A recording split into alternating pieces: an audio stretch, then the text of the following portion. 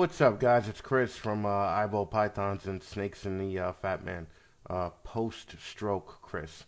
Um, 41 days. It's been fucking 41 days of uh, no cigarettes, no fast food, chicken and fish, and my fat ass at the gym every day with an exercise bike seat just slowly working its way up my rectum like I got a really patient Angelo Corsi behind me.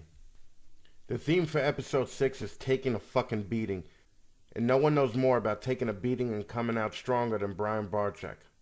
We're going to talk about all things reptiles, his changing plans for the future, as well as TV shows, traveling, and being away from the family. I know a lot of people love this guy. He has a ton of fans.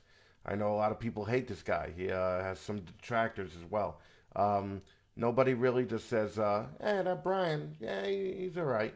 Um, so it should be an interesting interview, and that's why we're having him here to give the guy a fair shot.